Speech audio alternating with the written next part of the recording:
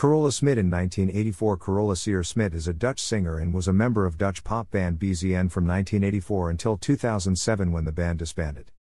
Carola began her musical career in 1980 when she joined the band Double Trouble. When she was with that band, she released her first single Never Loved This Way Before. In 1982, Carola released her second single Tell Me. In 1983 the band was renamed Friends. At the same time, she was asked to join BZN to replace previous member Anny Schilder. This change was, however, kept secret.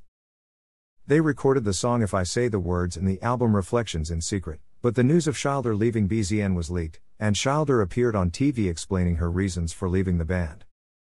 On March 22, 1984, BZN appeared for the first time on TV with Carola Smit in a TV special where Schilder presented Smit to the audience as her successor.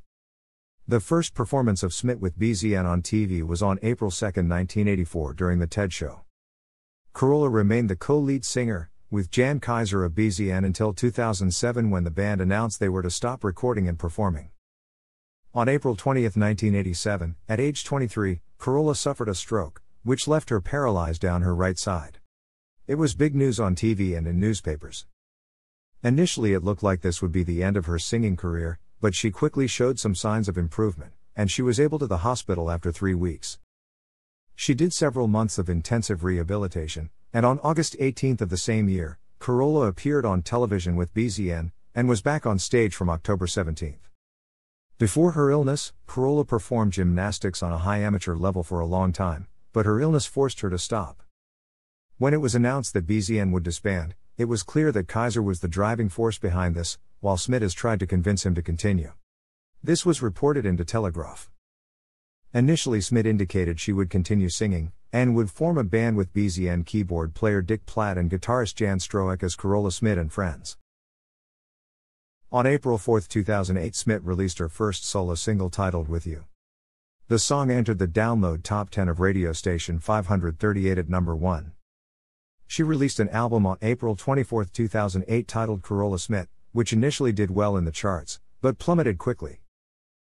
In December 2008, she performed several Christmas concerts together with Danny Malando.